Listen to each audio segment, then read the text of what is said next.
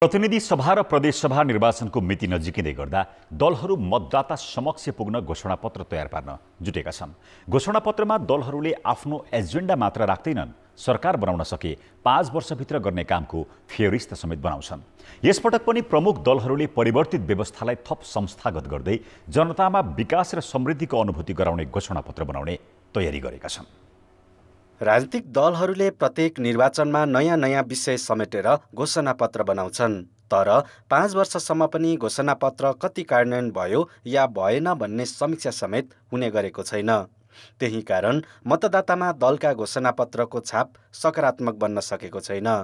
यो पटक पनि दलहरू मतदातालाई आकर्षित गर्ने खालका घोषणापत्रको मस्यौदा लेखनमा लागिसकेका छन्। जनजीविकालाई समेट्ने योजना दलहरूको छ। अझ सत्ता गठबन्धन दल त साझा घोषणापत्रकै तयारीमा छन्।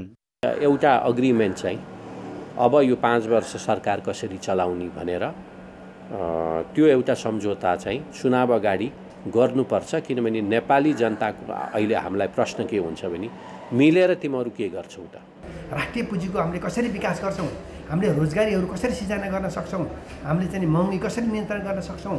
आदि इत्यादि कुराहरू त्यहाँ हुन्छन् र सँगसँगै हामीले संविधानमा उल्लेख भएको शिक्षा स्वास्थ्य र रोजगार मौलिक अधिकार छ। त्यो मौलिक अधिकारलाई हामीले कसरी चाहिँ नि त्यसलाई चाहिँ परिणाममुखी बनाउन सक्छौँ? संसदको सबैभन्दा ठुलो दल एमालेलाई यो पटकको निर्वाचनमा दबाब छ। साढे तिन वर्ष सरकारको नेतृत्व गरे पनि अघिल्लो पटकको घोषणापत्र कार्यान्वयन गर्न नसकेको एमालेलाई नयाँ विषय समेट्न कठिन छ।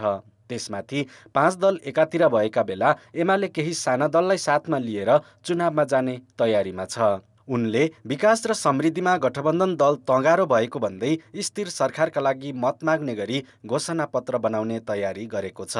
राजनीतिक आन्दोलन पुरा भइसकेको छ एक किसिमको।